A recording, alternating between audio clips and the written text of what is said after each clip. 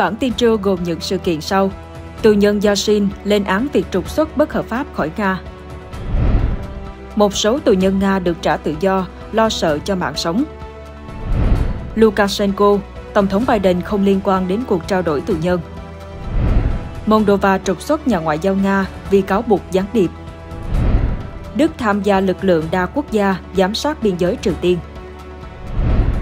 Trung Quốc tìm kiếm người mất tích sau trận vỡ đê. Xe hơi bốc cháy trong hầm chung cư Hàn Quốc, 140 xe bị thiêu rụi. Myanmar không kích bệnh viện khiến 10 người tử vong. Tất cả đều có trong bản tin trưa nay.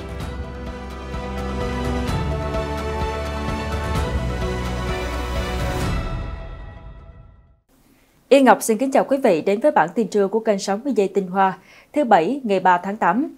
Kính chúc quý vị có một ngày mới an lành. Ngay sau đây là bản tin trong ngày. Kính mời quý vị cùng theo dõi. Thưa quý vị, ông Ilya Yashin, một nhà hoạt động đối lập người Nga, được trả tự do khỏi nhà tù trong cuộc trao đổi tù nhân vào hôm thứ Năm, đã cam kết sẽ tiếp tục cuộc đấu tranh chính trị chống lại Tổng thống Vladimir Putin từ nước ngoài. Tuy nhiên, ông bày tỏ sự tức giận vì bị trục xuất trái với ý muốn của mình. Theo đài Reuters, cuộc trao đổi tù nhân lớn nhất kể từ chiến tranh lạnh, chứng kiến 8 người Nga, bao gồm một kẻ sát nhân bị kết án, được trao đổi với 16 tù nhân trong các nhà tù của Nga và Belarus. Nhiều người trong số họ là những người bất đồng chính kiến. Đây được ca ngợi là một chiến thắng của các nhà lãnh đạo phương Tây khi họ lo sợ cho tính mạng của những người bất đồng chính kiến sau cái chết trong tù vào năm ngoái của chính trị gia Alexei Navalny.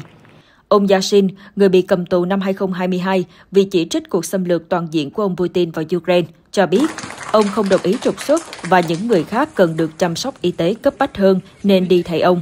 Ngay từ ngày đầu tiên ngồi sau song sắt, tôi đã nói rằng tôi không muốn tham gia vào bất kỳ cuộc trao đổi nào. Ông nói trong một cuộc họp báo đầy cảm xúc ở Bonn vào hôm thứ Sáu. Trong đó thỉnh thoảng ông tháo kính ra để ngăn nước mắt. Ông không hướng sự tức giận của mình vào các chính phủ phương Tây đã bảo đảm việc thả ông, mà vào việc Điện Kremlin vì đã trục xuất một đối thủ chính trị trái với ý muốn của ông. Những gì xảy ra vào ngày 1 tháng 8, tôi không coi đó là một cuộc trao đổi tù nhân, mà là việc trục xuất bất hợp pháp khỏi Nga trái với ý muốn của tôi. Và tôi thành thật nói rằng, hơn bất cứ điều gì khác, bây giờ tôi muốn được trở về nhà. Ông nói thêm. Ông phát biểu cùng với các nhà hoạt động Vladimir Karamuza và Andrei Pivovarov tại buổi xuất hiện công khai đầu tiên của những tù nhân được trả tự do kể từ khi đến Đức. Vào ngày thứ hai ra khỏi tù, Karamuza và Yashin rất quyết tâm theo dõi các sự kiện thế giới. Tất cả đều tỏ ra khinh thường chính phủ của ông Putin, người mà ông Karamuza mô tả là kẻ cướp ngôi bất hợp pháp. Ông Yashin cam kết sẽ tiếp tục công việc của mình cho nước Nga từ nước ngoài, mặc dù tôi vẫn chưa biết làm thế nào, ông cho biết. Bivo Varov đồng ý, Chúng tôi sẽ làm mọi thứ để đất nước được tự do và dân chủ, đồng thời trả tự do cho tất cả các tù nhân chính trị. Ông Karamuza kể lại rằng, khi được các viên chức nhà tù yêu cầu ký đơn xin ân xá, ông đã cầm lấy bút và viết rằng, tôi coi ông ta, Putin, không phải là một tổng thống hợp pháp, mà là kẻ độc tài, một kẻ cướp ngôi và là một kẻ sát nhân. Karamuza đổ lỗi cho ông Putin về cái chết của Navalny và chính trị gia người Nga là Boris Nemtsov, những người bị sát hại tại Moscow năm 2015, cũng như hàng nghìn người Ukraine, bao gồm cả trẻ em thiệt mạng trong vụ đánh bom trong một bệnh viện ở Kyiv vào tháng trước. Karamuza đã thụ án 25 năm tù và cho biết ông từng nghĩ sẽ không bao giờ được gặp lại vợ của mình và sẽ chết trong nhà tù của Nga. Trong khi ông nói rằng ông vui mừng khi được tự do, ông cũng bày tỏ sự e ngại về cách thức ông rời đi, mà ông gọi đó là sự trục xuất bất hợp pháp theo luật pháp Nga. Đồng thời, ông cũng thừa nhận tình thế tiến thoái lưỡng nan mà Thủ tướng Đức Olaf Scholz phải đối mặt khi quyết định có nên thả kẻ sát nhân bị kết án là Vadim Krasikov để bảo đảm an toàn cho họ hay không. Ông cho biết chiến dịch này là để cứu mạng người, chứ không phải trao đổi tù nhân. Thủ tướng Son đang bị chỉ trích ở một số nơi vì quyết định khó khăn là thả kẻ sát nhân riêng của Putin – Ông mô tả một thử thách giống như mức tra tấn về mặt tâm lý. Một bác sĩ nhà tù đã nói rằng ông chỉ còn sống được một năm đến một năm rưỡi do hậu quả của hai lần đầu độc mà ông đã phải chịu đựng. Tôi chỉ được phép nói chuyện với vợ một lần và với các con hai lần trong hơn hai năm bị giam giữ và trong 10 tháng bị giam giữ biệt lập. Là một người theo đạo Thiên Chúa, tôi còn bị cấm đến nhà thờ. Ông nói thêm. Thưa quý vị, Thủ tướng Đức Olaf Scholz cho biết vào hôm thứ Sáu, sau khi gặp một nhóm tù nhân khi họ đến Đức, rằng một số tù nhân được Nga và Belarus trả tự do trong một cuộc trao đổi lớn đã lo sợ cho tính mạng của họ. Ông mô tả cuộc gặp gỡ cảm động với các tù nhân, nhiều người trong số họ không ngờ điều này lại xảy ra vào lúc này, đồng thời nói thêm rằng nhiều người lo sợ cho sức khỏe, thậm chí là tính mạng của họ. Phát biểu sau khi chào đón các tù nhân tại phi trường Cologne, ông Son khẳng định cuộc trao đổi là quyết định đúng đắn và nếu bạn còn bất kỳ nghi ngờ nào, bạn sẽ mất hết nghi ngờ sau khi nói chuyện với những người hiện đã được tự do. Hai chục tù nhân đã được thả vào hôm thứ Năm trong cuộc trao đổi phức tạp này, bao gồm nhà báo người Hoa Kỳ Ivan Gershkovich và một sát thủ người Nga bị bỏ tù vì tội sát nhân trắng trợn ở Berlin. Đức đang tiếp nhận tổng cộng 12 người bị giam giữ, trong số này có 5 người mang quốc tịch Đức, bao gồm một số người mang hai quốc tịch. Trong số đó có Rico Krieger, một người Đức bị kết án tử hình ở Belarus về tội gián điệp trước khi được ân xá vào tuần này. Chính phủ Đức đã bảo vệ quyết định trả tự do cho sát thủ người Nga Vadim Krasikov, người đã ám sát một cựu chỉ huy phiến quân Chechnya và là nhân vật chủ chốt mà Nga tìm kiếm theo thỏa thuận. Thưa quý vị, nhà lãnh đạo Belarus Alexander Lukashenko vào hôm thứ Sáu cho biết, Tổng thống Hoa Kỳ Joe Biden không liên quan gì đến cuộc trao đổi tù nhân lớn nhất giữa Nga và phương Tây kể từ chiến tranh lạnh. Washington và Moscow đã thực hiện một cuộc trao đổi tù nhân lịch sử vào hôm thứ Năm với việc chính quyền Nga thả các nhà báo Hoa Kỳ Ivan Gershkovich và Anshu Kumasheva, cựu lính thủy quân lục chiến Hoa Kỳ Paul Whelan và công dân Đức Rico Krieger cũng như một số tù nhân chính trị Nga. Tổng cộng cả hai bên đã thả 24 người. Tổng thống Nga Putin đã cảm ơn ông Lukashenko vào hôm thứ Năm vì cử chỉ thiện chí và lệnh ân xá cho một công dân Đức bị kết án tử hình là Krieger. Vào đầu tuần này, nhà lãnh đạo Belarus đã ân xá cho ông Krieger, người bị kết án 6 tội danh hình sự, bao gồm cả tội khủng bố trong một phiên tòa bí mật được tổ chức vào cuối tháng 6. Tất nhiên, một người như Tổng thống Hoa Kỳ sẽ tăng cường quyền lực của mình thông qua việc này, mặc dù ông ấy không liên quan gì đến nó, ông Lukashenko nói ám chỉ đến cuộc trao đổi vào hôm thứ Năm. Bất chấp tuyên bố của nhà lãnh đạo Belarus, theo báo cáo của CNN, cả ông Biden và Phó Tổng thống Kamala Harris đều tham gia sâu vào các cuộc đàm phán đang diễn ra nhằm thả các công dân Hoa Kỳ bị giam giữ tại Nga. Thưa quý vị, vào hôm thứ Năm, Moldova đã tuyên bố một nhân viên của Đại sứ quán Nga tại Chisinau là người không được hoan nghênh. Đây là vụ gián điệp thứ hai xuất hiện ở nước này trong những tuần gần đây. Động thái này diễn ra sau khi các công tố viên tuyên bố bắt giữ hai quan chức bị tình nghi phản quốc và âm mưu chống lại đất nước vào hôm thứ Tư. Họ không nêu tên các quan chức này, nhưng các phương tiện truyền thông đưa tin một người là người đứng đầu bộ phận pháp lý tại Quốc hội, trong khi người kia làm việc cho cảnh sát biên giới của nước này.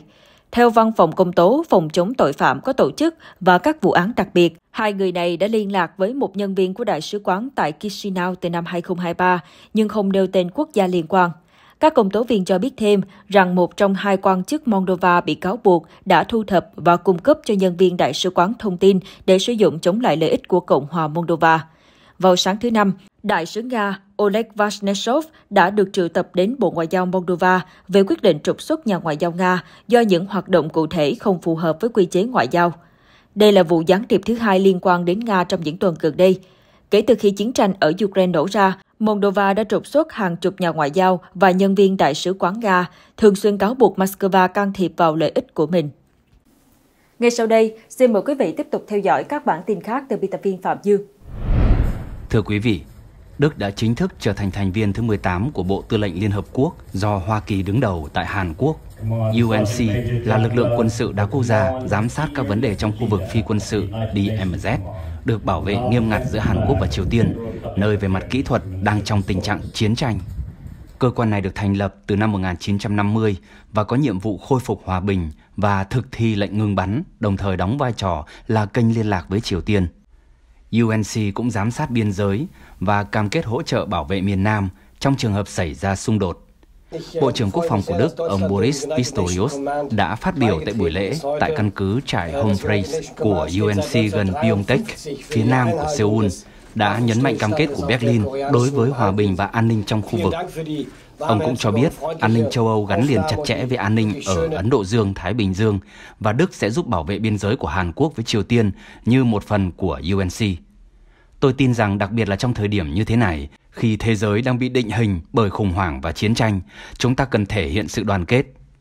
Chúng ta cần phải kiên quyết chống lại những kẻ muốn phá hoại hòa bình và ổn định, chống lại những kẻ tấn công trật tự chung của chúng ta, ông nói. Ông Pistorius cũng tuyên bố sẽ triển khai phi cơ quan sát loại A319OH hiện đại của quân đội Đức từ tháng 9 trở đi. Thưa quý vị, lực lượng cứu hộ tại Trung Quốc đã nỗ lực hết sức vào hôm thứ Sáu, ngày 2 tháng 8 để tìm kiếm hàng chục người vẫn đang mất tích, một tuần sau khi cơn bão mạnh nhất trong năm đã đổ bộ vào tỉnh Hồ Nam ở phía nam của Trung Quốc. Trong khi các nhân viên cứu hộ vẫn đang khẩn trương để bịt kín các con đê bị vỡ liên tiếp trên những con sông đang dâng cao.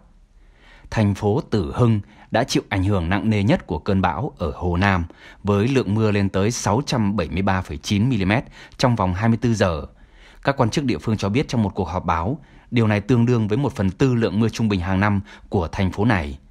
Hiện chỉ có Thủ tướng Lý Cường đã thăm thành phố và thúc giục lực lượng cứu hộ phải nỗ lực hết sức để tìm kiếm những người mất tích, khôi phục cơ sở hạ tầng và phòng ngừa các thảm họa như lở đất.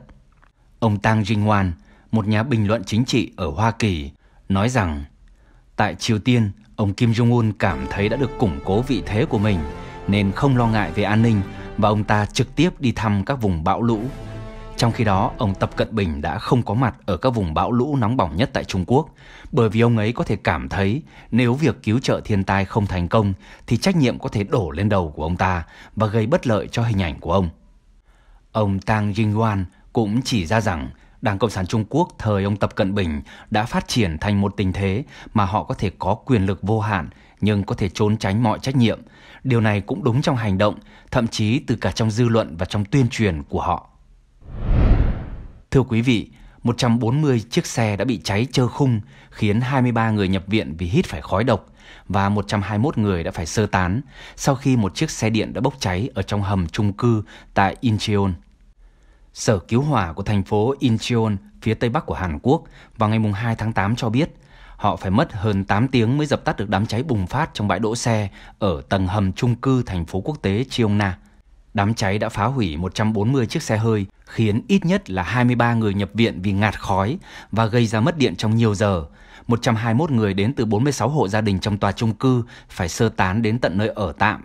Video từ camera an ninh cho thấy khói bốc ra từ một chiếc xe Mercedes-Benz đậu ở dưới tầng hầm. Sau đó lửa bùng lên từ chiếc xe điện. Lực lượng cứu hỏa cho biết xe không sạc điện vào thời điểm phát nổ.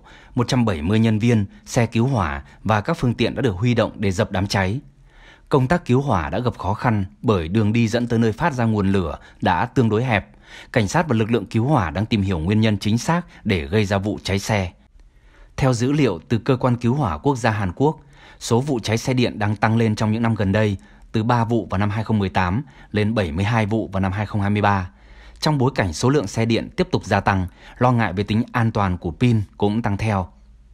Mercedes-Benz ở Hàn Quốc đã lấy làm tiếc về vụ cháy tầng hầm chung cư và cam kết hợp tác đầy đủ với giới chức trong cuộc điều tra. Tuy nhiên công ty cũng từ chối bình luận về mẫu xe liên quan cũng như loại pin được lắp trên chiếc xe đã bốc cháy. Thưa quý vị, các cuộc không kích của quân đội Myanmar đã đánh trúng một bệnh viện ở một thành phố do một nhóm vũ trang dân tộc thiểu số kiểm soát gần biên giới của Trung Quốc, khiến 10 người thiệt mạng. Truyền thông địa phương đã đưa tin cho biết vào ngày 2 tháng 8. Một người dân giấu tên nói với đài AFP rằng chiếc phi cơ quân sự đã thực hiện ít nhất là hai cuộc không kích vào thành phố Lokhai, nơi thường có khoảng 25.000 người sinh sống vào đêm muộn ngày 1 tháng 8. Truyền thông của địa phương cũng dẫn lời của một người dân cho biết có 10 người dân đã thiệt mạng trong cuộc không kích. Tiểu bang Shan ở phía bắc của Myanmar đã bị rung chuyển bởi giao tranh kể từ cuối tháng 6 khi liên minh các nhóm vũ trang dân tộc thiểu số tiếp tục tấn công quân đội dọc theo tuyến đường thương mại chính tới Trung Quốc. Nhóm quân đội Liên minh Dân chủ Quốc gia Myanmar là MNDAA đã chiếm giữ Lào Cai kể từ tháng 1 sau khi hơn 2.000 quân chính quyền đã đầu hàng tại đây trong thất bại lớn nhất của quân đội trong nhiều chục năm qua. Người phát ngôn của MNDAA là Lee Jiawen nói với đài AFP rằng một cuộc không kích của quân đội đã tấn công vào một bệnh viện ở Lào Cai, nhưng ông vẫn chưa có thông tin về thương vong. Trung Quốc là đồng minh lớn và là nhà cung cấp vũ khí cho chính quyền quân sự, nhưng các nhà phân tích cho biết nước này cũng duy trì quan hệ với các nhóm dân tộc vũ trang ở Myanmar, nắm giữ lãnh thổ gần biên giới của nước này. Cảm ơn biên tập viên Phạm Dương. Kính thưa quý vị, bản tin trưa nay đến đây xin được phép tạm dừng. Yên Ngọc hẹn gặp lại quý vị trong các bản tin sau.